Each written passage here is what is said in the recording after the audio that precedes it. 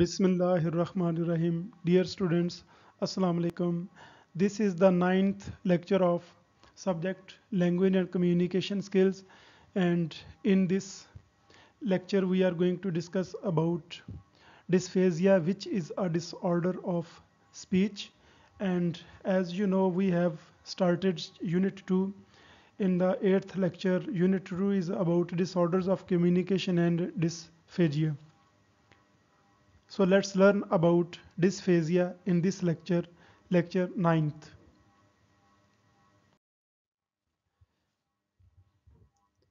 Fear Allah wherever you are. Do good immediately after a sinful act to erase it. And always be well mannered in your relationship with people. This is a hadith from Tirmidhi Sharif and this is about piety, bir, taqwa, and we should act upon this hadith. So disorders of speech जिनमें dysfluency dysphagia articulation and phonological disorders cleft lip and palate voice disorders ये सब शामिल हैं but in this lecture we are going to elaborate dysphagia कि what is dysphasia so in previous lecture we discussed about disfluency and in this lecture we are going to discuss about dysphasia so what is dysphasia so dysphasia is an acquired disorder of spoken and written language और ये दो Greek words से मिलकर बना है।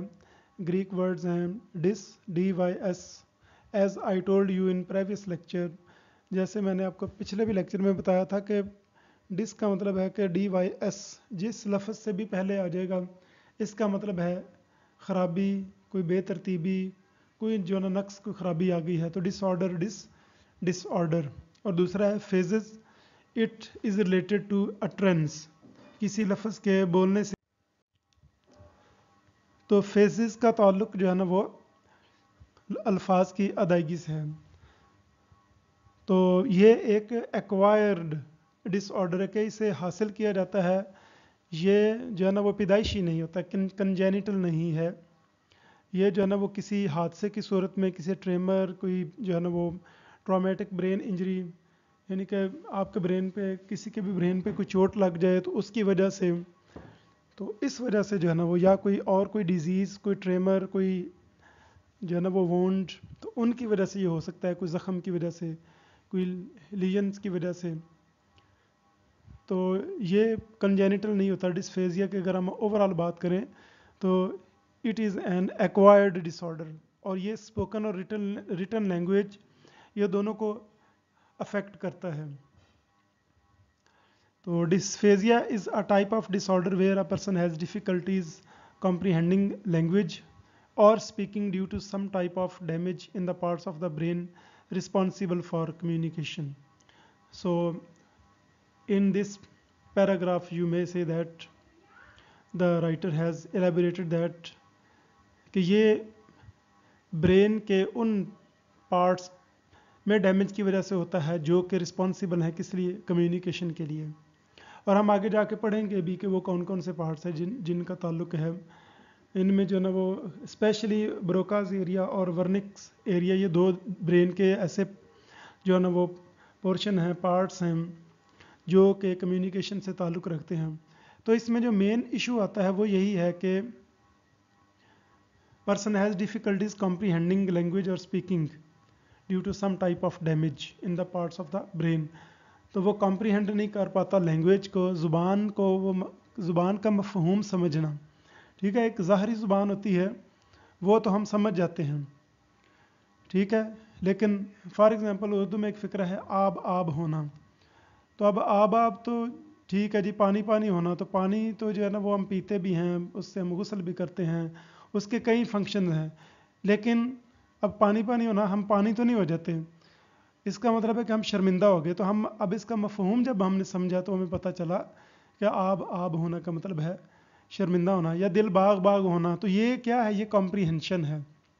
इससे हमें पता चलता है कि जनाब, ज़ुबान का मफहूम क्या है कि असल बात जो है ना, वो राइटर क्या करना चाह रहा है? जो स्पीकर है, जो बोलने वाला है, वो असल बात क्या करना चाह रहा है? असल बात वो होती है। तो dysphasia is a type of disorder where a person has difficulties comprehending language और स्पीकिंग ठीक है? तो जब आप कॉम्प्रीहेंड नहीं कर पाते तो इसका मतलब है कि आप उस बात का जो है ना दुरुस्त जवाब भी नहीं दे सकते। और speaking due to some type of damage in the parts of the brain responsible for communication तो ये पैराग्राफ मैंने इसलिए पढ़ा है इसको दोबारा दोहराया है कि बड़ा अहम है, इसकी वजह से हमारी आगे सारी डिस्कशन चलनी है। तो इसलिए इसको समझने की बहुत अशद ज़रूरत है। तो सिम्टम्स जो है ना वो इसकी क्या है? द सिम्टम्स ऑफ़ डिस्फेजिया वो रीजन ऑफ़ द ब्रेन जो है ना जो ब्रेन का जो वो पार्ट है, जो रीजन है, वो जो भी डैमेज होता है तो जिससे उसका ताल्लुक होता है तो उस इलाके में, उस रीजन में, उस हिस्से में ब्रेन के जो है ना, वो अगर कोई डैमेज की वजह से तो उसके वही वही फ़ंक्शंस जो है ना, वो डैमेज होंगे। तो आगे हम देखेंगे कि वर्निक एरिया है, जो कि टेम्पोरल लोब में है, और इसका ताल्लुक जो है ना, वो comprehension of written and spoken language है। फिर एक दूसरा जो है जिसका यानी कि ये वो रीजन्स हैं ब्रेन के, जिनका रिटन और स्पोकन और जो है कॉम्प्रीहेंशन ऑफ़ लैंग्वेज से ताल्लुक है। तो ब्रोकाज एरिया है जो कि फ्रंटल लोब पे जो ना होता है और लेफ़्ट हेमिसफेयर में जो है ना मोस्ट प्रोबेबली होता है। तो इसका जो ना ताल्लुक स्पीच प्रोडक्शन से होता है। तो ये वो एरियाज़ हैं, अगर देखें ना कि ब्रोकाज एरिया में इश्यूज़ आएँगे तो इसका मतलब है कि वो स्पीच प्रोडक्शन का इशू होगा।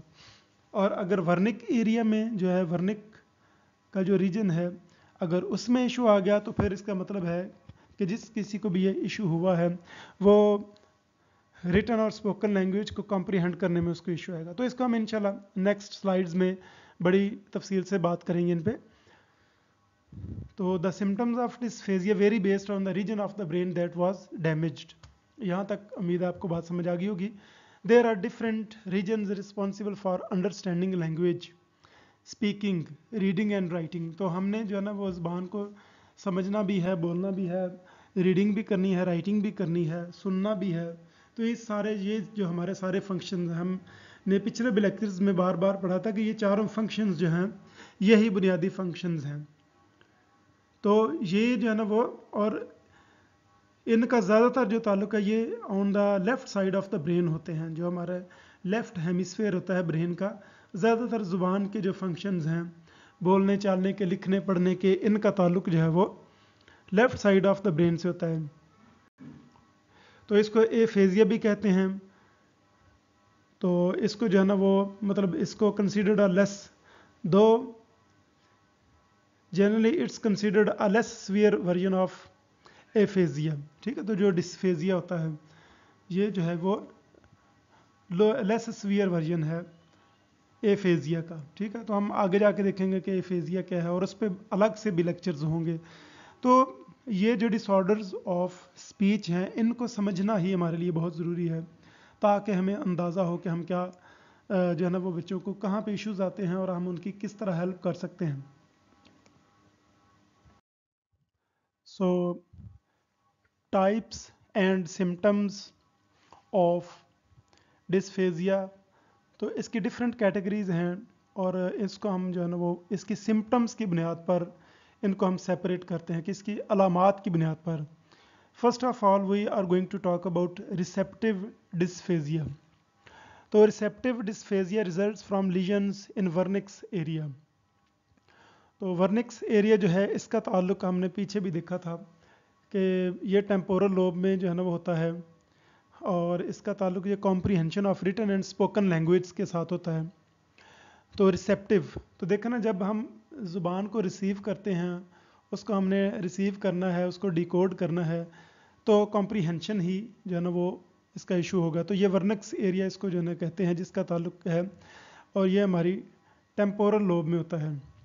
तो सबसे पहले फ्रंटल लोब है, माथे से बिल्कुल थोड़ा सा ऊपर करके, पेशानी से फोरहेड फ्रंटल लोब के बाद फिर जो है वो आती है पेरिटल लोब और उसके बाद जो है वो हमारे पास आ जाती है ऑक्सीपिटल जो कि बिल्कुल बैक साइड पे होती है और फिर टेम्पोरल लोब जो कि कानों से थोड़ा ऊपर ब्रेन के दरमियान में करके होती है।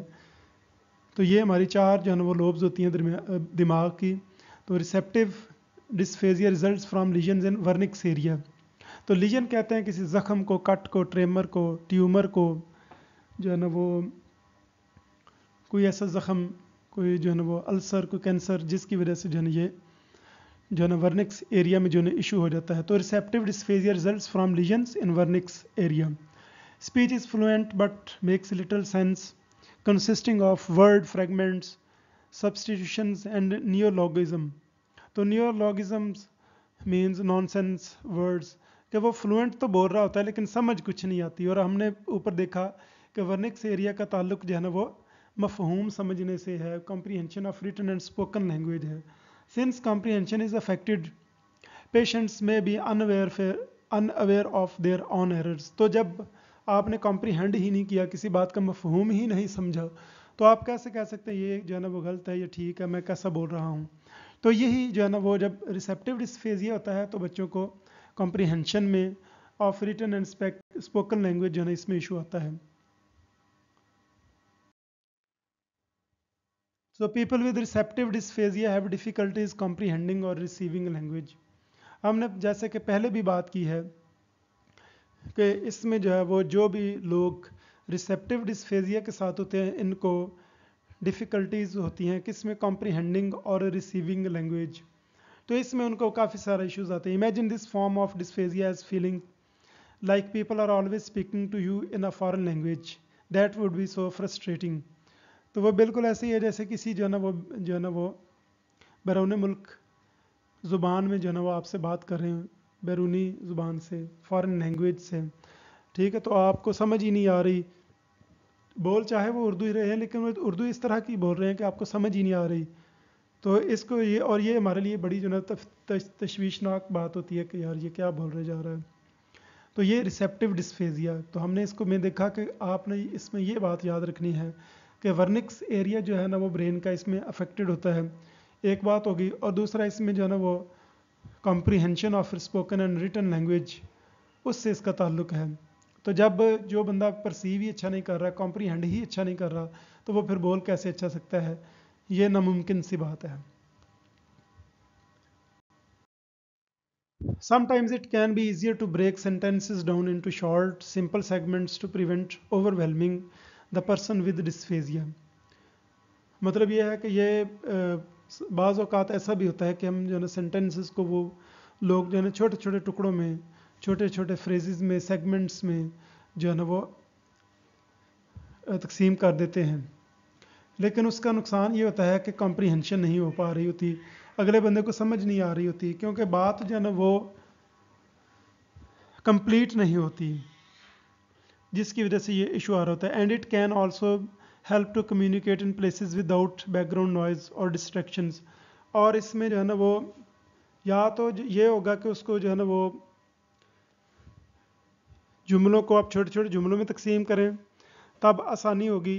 लेकिन अगर आप जो है ना लेंथ ही जुमला इन बच्चों से, इन लोगों से बुलवाने की कोशिश करेंगे then there will be problem there then they can't communicate तो इसमें जो है ना बैकग्राउंड नॉइज़ और डिस्ट्रैक्शंस जितनी कम होंगी, उतना जो है ना वो रिसेप्टिव डिस्फेजिया के लोग जो है ना वो ज़्यादा अच्छी कारकर्दगी दिखा दिखा सकेंगे। दे विल परफॉर्म वेल उसकी वजह क्या है? उसकी वजह यह है कि हमने जो है ना वो जैसा कि मैं इसको बार बार रिवाइज इसलिए कर रहा हूँ कि आपको समझ आ जाए कि बात कहने का मकसद क्या है। कॉम्प्रीहेंशन कि कुछ बातें, कुछ चीज़ें हमें जो है ना रिवाइज करवाना पड़ती हैं। और चीज़ों को याद करने का अच्छा तरीका भी यही है कि आप उनको बार बार रिवाइज करें। कोई भी आपने लेसन कुछ भी आप पढ़ रहे हैं तो अगर आप उसको, आज आपने एक रीडिंग की है, फिर उसके बाद एक हफ़्ते के बाद और उसके बाद अगर आप एक महीने के बाद जो है ना उस चीज़ को रिवाइज करें इसी तरतीब से तो वो चीज़ जो है ना वो आपकी लॉन्ग टर्म मेमोरी में चली जाएगी। तो यहाँ पे भी बात यही है कि कॉम्प्रीहेंशन का इशू है कि आपको मफहूम के बात समझ ही नहीं आ रही। तो वो फिर जो ना, वो लोगों को मसाइल आते हैं एंड इट कैन ऑल्सो तो इनको मदद हम इस तरह कर सकते हैं कि बैकग्राउंड नॉइज़ को और डिस्ट्रैक्शंस को जितना कम कर सकें, उतना ही इन बच्चों का फ़ायदा है।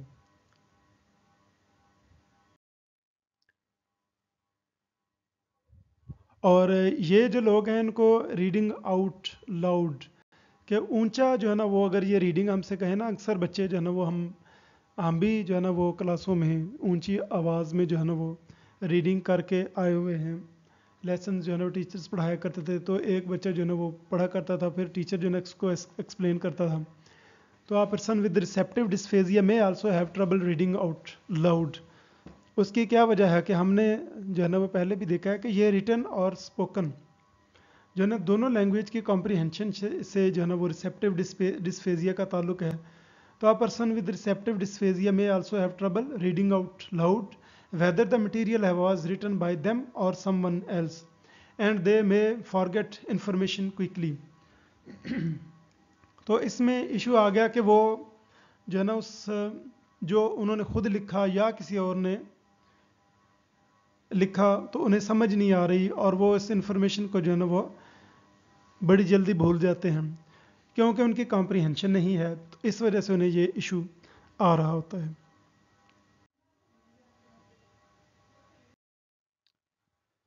Second type of dysphasia is expressive dysphasia तो एक्सप्रेस हम करते हैं थ्रू स्पीच थ्रू स्पीकिंग तो अब जो है ना वो lesions involving Broca's area cause expressive dysphasia which is non fluent तो ब्रोकाज एरिया जो है ना ये फ्रंटल लोब में होता है और ये लेफ़्ट मोस्ट प्रोबेबली ये जो है ना वो लेफ़्ट हेमिसफेयर में होता है. और ब्रोकाज एरिया जो है वो, यानी ये जिन्हों जिन्होंने जो है ना ये एरिया स्पीच से रिलेटेड जो है रिसर्चेस की और उन्होंने जो है ना वो जिस जिस तो ब्रोका एक शख्स का नाम है, जिसके नाम पे जो है इसका हमने ब्रेन के उस रीजन का नाम रख दिया जो उसने ये कहा कि भाई इसका जो है ना ताल्लुक स्पीच प्रोडक्शन से है। जैसे वर्निक एरिया था तो उसका ताल्लुक जो है ना comprehension of written and spoken language से था। तो वो जिसने ईजाद किया, दरियाफ्त किया, उसने बताया हमें रिसर्च करके कि भाई इसका ताल्लुक जो है वो comprehension of written and spoken language है और उसने ये भी बताया कि जनाब ये टेम्पोरल लोब में जो है वो लोकेटेड है। तो ब्रोकाज एरिया जो है ये फ्रंटल लोब में जो है ना वो इसकी जो लोकेशन आती है तो ये फ्रंटल लोब में ये रीजन जो है ना वो लोकेटेड है। दिमाग में, यानी कि ब्रेन में ब्रोकाज एरिया तो लीजन्स लीजन्स हमने पहले भी मैंने बात की कि ये ज़ख़म होता है, कोई ट्यूमर कोई कैंसर कुछ इस तरह की चीज़। जो कि ब्रेन को नुकसान पहुंचाती है। तो ब्रेन बड़ी फ्रेजाइल चीज़ है और बड़ी अहम चीज़ है। तो इसमें खुदा न खास्ता कोई छोटी मोटी इंजरी हो जाए तो वो बहुत हद तक नुकसान पहुंचाती है। तो lesions involving Broca's area cause is expressive dysphasia which is non fluent ठीक है, हमने रिसेप्टिव डिस्फेजिया में देखा था मे बी वो फ्लुएंट तो हो सकता है, लेकिन समझ नहीं आ रही होती। जबकि यहाँ पर speech is hesitant fragmented and telegraphic with word finding difficulty and a paucity of grammatical elements such as verbs and prepositions. मतलब ये है कि स्पीच जो है हिचकिचा के इंसान बोलता है और वो टुकड़ों में तकसीम हुई होती है छोटे छोटे जुमलों में एंड टेलीग्राफिक ठीक है, यानी कि हमें समझ नहीं आ रही होती, जैसे हम टेलीविज़न की बात कर रहे होते तो ऐसे टेलीग्राफिक के ये कुछ शायद इसके जो ना अल्फाज बड़ी दूर दूर जो ना वो लोकेटेड हैं। विद वर्ड फाइंडिंग डिफ़िकल्टी कि हमें जो है ना वो अल्फाज को फाइंड करने में जैसे नहीं मुश्किल पेश आती कि बड़ी दूर अल्फाज जो है ना वो कहीं पड़े हुए हैं। तो T E L E tele मतलब दूर विजन देखना तो टेलीग्राफिक दूर दूर लिखा हुआ है, ठीक है? टेलीग्राफिक तो with word finding difficulty and a paucity of grammatical element such as verbs and prepositions कि वो जो अल्फाज का जो है ना जुमलों में प्रॉपर इस्तेमाल सेंटेंस स्ट्रक्चर वही नहीं इसमें बन पा रहा होता। तो इसका चूँकि ताल्लुक जो है ना स्पीच प्रोडक्शन से है, बोलने से है तो इसलिए जो है ये बड़ा हम है। Since comprehension is relatively spared या इसमें जो है इसका इतना ताल्लुक नहीं patients tend to become frustrated as they struggle to express them ठीक है? इसमें comprehension comprehension is relatively spared कि उसकी खैर सलाह होती है, कहते हैं कि खैर ठीक है, जो है ना वो कॉम्प्रीहेंशन की बात नहीं है। क्योंकि अब जो है ना वो बोलना है। पहले जो है ना वो समझना था तो समझ के बोलना बड़ा मुश्किल काम था। अब इनकी जो है ना वो comprehension is okay but problem is in spoken language तो डिस्फेजिया के साथ जो लोग होते हैं, उनमें एक तो वो अपने जो है ना trouble they have trouble in expressing expressing them in words ये एक बहुत बड़ा इशू है। कि जब आप जो है ना वो सही तरह से एक्सप्रेस नहीं कर सकेंगे तो कैसे जो है ना खा वो रिटर्न हो? और स्पेशली यहाँ पे हम बात कर रहे हैं स्पोकन इंग्लिश और स्पोकन उर्दू और जो भी स्पोकन लैंग्वेज के हवाले से, चूँकि स्पीच प्रोडक्शन के हवाले से बात कर रहे हैं तो इस रीजन ये बहुत अहम है। Some people with this form of dysphasia may not be able to verbally speak और कम्युनिकेट एट ऑल और इसमें जो है ना वो एक्सप्रेसिव कि वो जो है ना वो कुछ लोग तो बिल्कुल जो है ना वो बोल ही नहीं सकते वर्बली यानी वो ज़बान से अल्फाज अदा नहीं कर सकते, या फिर कम्युनिकेट एट ऑल या फिर वो बिल्कुल जो है ना, वो कम्युनिकेट ही भी नहीं कर सकते। और अगर वो बोल सकते हैं तो they may have trouble finding the right word they want to use और may accidentally use the opposite word of the one they are looking for और may not make sense at all but not realize it तो वो क्या कर सकते हैं कि वो मतलब कोई एक जो है ना, वो मतलब या तो वो लफ्ज़ तलाश करने में कितनी देर जो है ना वो लगा देंगे।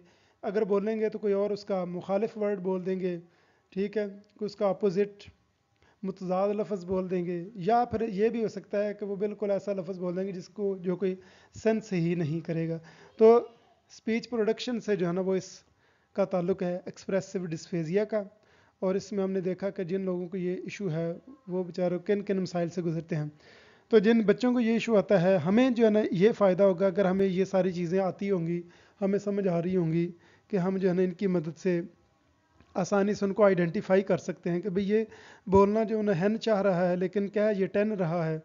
फॉर एग्ज़ाम्पल तो ये जो है ना इसका इशू है तो इसको सॉल्व करना आसान हो जाएगा।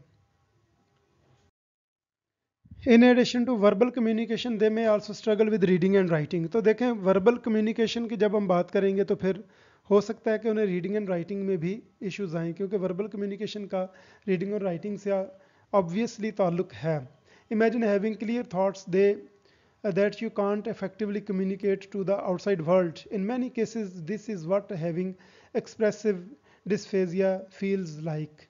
मतलब आपके पास थॉट्स तो हैं ठीक है फीलिंग्स हैं लेकिन आप उनको एक्सप्रेस ही नहीं कर पाते तो उस जो ना उन थॉट्स का उन फीलिंग्स का होने का क्या फ़ायदा कि आपके पास टैलेंट तो है, लेकिन आप उसको पॉलिश नहीं करते तो वो टैलेंट टैलेंट जो है ना, वो आपका किसी खाते का नहीं है। तो बिल्कुल यहाँ पर भी ऐसे ही है कि आप जो अल्फाज, जो आपके थॉट्स फीलिंग्स आपने बताना जो है ना, वो मतलब अब फुटबॉल मैच के हवाले से है, लेकिन आपके पास थॉट्स तो हैं कि आप उसको एक्सप्लेन कर सकें। लेकिन आपको अल्फाज सूटेबल समझ नहीं आ रहे कि ना फुटबॉल को वॉच करवाना है या फुटबॉल को जो है सी करवाना है।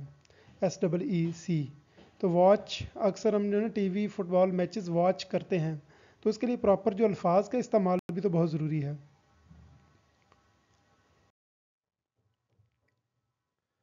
Third type of dysphasia is mixed dysphasia और global dysphasia a combination of receptive and expressive features is called global dysphasia और एफेजिया भी इसको कह लेते हैं ग्लोबल एफेजिया भी। सो so, इसमें सबसे बड़ा जो इशू है specific problems repeating sentences for example no ifs ands और buts despite normal fluency and comprehension के नॉर्मल फ्लुएंसी भी है और कॉम्प्रीहेंशन भी है लेकिन फिर भी जो है ना वो रिपीटिंग सेंटेंसेस जो है ना वो उसमें काफ़ी सारे इश्यूज़ आते हैं। मिक्सड डिस्फेजिया में। तो हमने रिसेप्टिव और एक्सप्रेसिव दो तरह की डिस्फेजिया की इससे पहले बात की है। और ये तीसरा जो, जिसको हम मिक्सड डिस्फेजिया कह रहे हैं। तो स्पोकन और रिटर्न लैंग्वेज के साथ जिसका ताल्लुक है, ये चूँकि एक बहुत बड़ा स्पीच डिसऑर्डर है, जिसकी हम टाइप्स पढ़ रहे हैं डिस्फेजिया तो यहाँ पर जो है ना, वो मिक्सड डिस्फेजिया और ग्लोबल डिस्फेजिया की बात हो रही है। तो ये जो है ना, वो बहुत ज़्यादा मुतासर करता है बच्चों को, और अक्सर को जो है ना, वो दोनों में इशू होता है। और अगर हमें पता होगा तो हम बड़ी आसानी से जो है ना, वो इन बच्चों के, इन मसाइल का हल निकाल सकते हैं तो अर्ली इंटरवेंशन के लिए जो है ना वो हमें इन सब चीज़ों का पता होना बहुत ज़रूरी है। हमने बात की थी कि जो रिसेप्टिव डिस्फेजिया है, उसमें comprehension of written and spoken language का इशू आ रहा था। तो उसके और दूसरे में जो है ना वो एक्सप्रेस करने का इशू आ रहा था, जो एक्सप्रेसिव डिस्फेजिया था। तो जो हमारा मिक्स्ड डिस्फेजिया है, इसमें इन दोनों के जो है ना रिलेटेड इश्यूज़ आ सकते हैं। हो सकता है कि नॉर्मल फ्लुएंसी हो, लेकिन कॉम्प्रीहेंशन ना हो, और कहीं पर कॉम्प्रीहेंशन हो और नॉर्मल फ्लुएंसी ना हो, कि आप एक्सप्रेस अच्छा ना कर पा रहे हो। तो ये दोनों जो है इश्यूज़ इसको डील करते हैं। और अगर हमें इन सब चीज़ों का पता होगा तो हम आसानी से जो है वो बच्चों को, जो है ना स्क्रीन आउट कर सकते हैं और उनके लिए हेल्प जो है ना वो ले सकते हैं। स्पीच लैंग्वेज पैथोलॉजिस्ट से डॉक्टर्स से कि वो इनका कोई हल निकालें, ताकि जितनी जल्दी बच्चों को अर्ली इंटरवेंशन मिल जाए, जितनी जल्दी वो रिहेबिलिटेशन की तरफ़ जाएँ, ताकि वो अपनी नॉर्मल ज़िंदगी की तरफ़ आ सकें। तो ये कुछ सिम्टम्स हैं, जो है ना, वो जो मिक्स्ड डिस्फेजिया के साथ लोग होते हैं। तो उसमें जो उनमें दोनों में रिसेप्टिव और एक्सप्रेसिव डिस्फेजिया दोनों की जो है वो सिम्टम्स पाई जाती हैं। तो उनमें मल्टीपल कॉम्प्लिकेशंस होती हैं, उनमें understanding language and communicating successfully तो देखा ना, दोनों तरह से, दोनों तरफ़ से इश्यूज़ आ गए हैं कि आप लैंग्वेज को भी अंडरस्टैंड करें और कम्युनिकेट भी सक्सेसफुली करें। अगर ऐसा नहीं कर पाते तो फिर जो है ना वो बच्चों के लिए, लोगों के लिए मसाइल होते हैं। तो ये किसी भी उम्र में हो सकते हैं। और जितनी जल्दी इनको डायग्नोज किया जा सके, जितनी जल्दी इनको स्क्रीन आउट किया जा सके, उतना ही बेहतर है। और ये जो है ना, वो वालदेन के बाद सबसे पहले जो है ना टीचर्स इस मसले को जो है ना, वो जल्दी स्क्रीन आउट कर सकते हैं। तो इसलिए टीचर्स को इन चीज़ों का जानना बहुत ज़रूरी है कि स्पीच डिसऑर्डर्स कौन से हैं और उनके क्या क्या फ़ंक्शन हैं और उनके क्या क्या इश्यूज़ हैं। सो होपफुली जो है ना, वो हम इनको अंडरस्टैंड कर सकें और किसी के काम आ सकें, उसको बेहतर गाइड कर सकें। They can have trouble receiving information and expressing information and it can affect both verbal and non verbal communication और इसमें चूँकि हमारी, हमने देखा था कि कम्युनिकेशन सिर्फ़ जो ना वर्बली नहीं होती नॉन वर्बली भी होती है। उसमें जेस्चर्स बॉडी लैंग्वेज ठीक है, हमारे एक्शंस हमारा बिहेवियर वो भी तो होते हैं। तो अगर जो है ना बच्चे के, जो है ना वो कम्युनिकेशन स्किल्स अच्छी हैं, वो ठीक तरह से बातों को समझ पा रहा है, बातें ठीक तरह से कर रहा है तो वो आसानी से जो है ना वो इन चीज़ों को कॉम्प्रीहेंड कर लेगा और इनको आगे जो ना कम्युनिकेट कर लेगा। Comprehension is something else and communication is something else अगर इन दोनों में से किसी एक में भी इशू आ जाए तो हमारे लिए, बच्चों के लिए जो है ना वो हमारे बच्चों के लिए मसाइल हैं। तो इनको कम से कम जो है ना जितनी जल्दी हो सके इनका कोई वे आउट निकाला जाना चाहिए। और ये जो सब्जेक्ट हम लैंग्वेज एंड कम्युनिकेशन स्किल्स पढ़ रहे हैं, इसमें जो मुख्तलिफ़ तरह के डिसऑर्डर्स पे हम बात करने जा रहे हैं और जो हम बात कर भी रहे हैं, जो सबसे पहले हमने डिसफ्लुएंसी पे बात की, आज हम डिसफेजिया पे बात कर रहे हैं और आने वाले लेक्चर्स में भी हम मुख्तलिफ़ जो है ना वो स्पीच के डिसऑर्डर्स लैंग्वेज के डिसऑर्डर्स और डिसफेजिया के तो ये इन सब पे जब हम बात करेंगे तो इन सब का मकसद क्या है? मकसद ये है कि जो बच्चों की नॉर्मल लैंग्वेज डेवलपमेंट है जो नॉर्मल उनकी स्पीच डेवलपमेंट है, जो कम्युनिकेशन के हवाले से उनकी डेवलपमेंट है, वो उनकी बेहतर से बेहतर की जाए, ताकि उनके लिए कम अज़ कम जो है ना वो मसाइल पैदा हों और वो कामयाबी से जो है ना इन मसाइल से निकल सकें और कम अज़ कम जो है ना वो उनके लिए जो है ना वो सारी सहूलियात, वो सारे जो है ना उनके जो ज़िंदगी के फ़ंक्शंस हैं वो आसानी से वो परफॉर्म कर सकें। जो कि नॉर्मल इंसानों को फील ही नहीं होता, जो हम फॉर ग्रांटेड जो है ना वो ले लेते हैं कि भाई हमें तो ठीक है, मिल गया है, अब खैर सल्ला है, कोई मसले वाली बात नहीं है।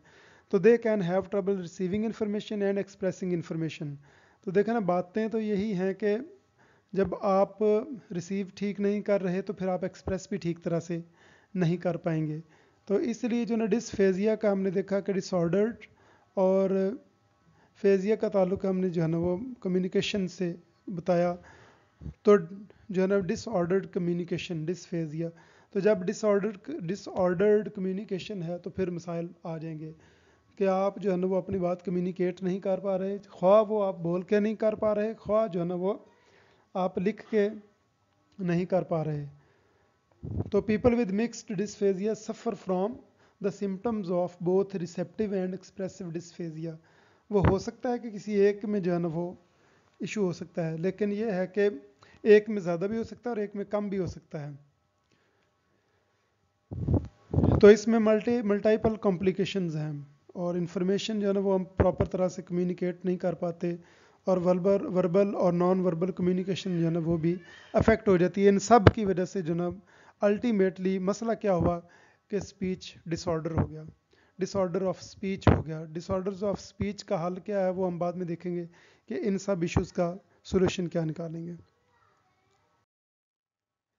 So this our lecture have been completed so यहाँ पे जो है ना what is learn during youth like an engraving on a stone will never be forgotten तो चूँकि जो जब हम नौजवानी में, जवानी में जो है ना वो हमारे जो है ना वो ब्रेन की स्ट्रेंथ ज़्यादा होती है, हमारे जो है ना पढ़ने की, काम करने की सख्त स्ट्रेंथ, कैपेसिटी, जो है ना वो स्टेमिना ज़्यादा होता है तो इसलिए जो है ना वो नबी करीम सल्लल्लाहु अलैहि वसल्लम के हवाले से ये बात बयान की गई है, बहारुल अनवार एक किताब है उसमें कि what is learned during youth कि जो कुछ जवानी में जो है ना वो याद किया जाता है, पढ़ा जाता है, सीखा जाता है like an engraving on a stone तो वो पत्थर पर लकीर होता है। विल नेवर बी फॉरगॉटन तो जैसा कि अल्लाह ताला को जो है ना वो नौजवानों की या जवानी की इबादत बहुत ज़्यादा पसंद है तो ये भी एक बहुत बड़ा एडवांटेज है हमें कि हम जो है ना वो इस उम्र में जितना अच्छे तरीके से सीख सकें, जितने अच्छे तरीके से पढ़ सकें, समझ सकें। तो हमें जो ना अपना, हमारे मुल्क का, हमारे ख़ानदान का, हमारे दीन का हमें सोचना चाहिए। और उसके लिए हम जो है ना वो, हम इस वक्त क्या कर सकते हैं, हम एक अच्छे तरीके से एक स्टूडेंट बन सकते हैं। हम एक अच्छा जो है ना वो स्टूडेंट बन सकते हैं। हम अपना किरदार अदा कर सकते हैं, माशरे में अपना किरदार अदा कर सकते हैं। वो तभी होगा कि जब हमारी कोई डायरेक्शन होगी। तो जिस मुल्क की जो है ना वो सेकेंड हाइस्ट पॉपुलेशन जो है ना वो यूथ पर मुश्तमिल हो और फिर भी वो इसी तरह भटक रहे हों, जलील हो रहे हों, ख्वार हो रहे हों और दुनिया जो है ना वो इनको वे राहरवी की तरफ़ लगा दे। तो वहाँ पे फिर मसले वाली बात है। वहाँ पे फिर हमारे जो है ना वो टीचर्स का किरदार आता है कि हमें चाहिए कि हम अपने बच्चों को जो है ना वो गाइड करें, उनको सही रास्ते पर चलाएँ और उनको गाइड करें कि भाई what is the good path तो आपको चाहिए कि अपनी ज़िंदगी का कोई जो है ना वो मिशन तो make your life a mission not an intermission George H Glasgow की जो है ना, ये एक कोटेशन है कि make your life a mission not an intermission तो हमें जो है ना, वो what is learned during youth like an engraving on a stone will never be forgotten तो इस तरह ये लेक्चर जो है वो मुकम्मल हुआ पाया तकमील को पहुँचा। So we have discussed about dysphagia, and we have talked about it very comprehensively बड़ी डिटेल में जो है ना वो इस पर बात की गई है, इसको पूरी तरह से एलेबरेट किया गया है। तो अब आपका फ़र्ज़ है, आपकी ज़िम्मेदारी है कि आप इसको अच्छी तरह से याद करें कि डिस्फ्लुएंसी क्या है, उसके बाद डिस्फेजिया क्या है, उसकी टाइप्स क्या है, उनका क्या क्या कौन कौन से फ़ंक्शंस मुतासर होते हैं कहाँ कहाँ पे जो है ना इश्यूज़ आते हैं, और उनको हम कैसे बेहतर कर सकते हैं। तो मैं बार बार इसको एडवांटेज आपको बता रहा हूँ कि आप इसको कोई फजूल सब्जेक्ट ना समझें कि ये जो है ना कोई ऐसी ही बात है। This subject will help you understand different disorders of speech and language and with the help of those you can help the students which will be your students and if you are going to become teachers special educationist this lessons these lessons this subject will help you sail through those troubled situations that you can guide those children uh,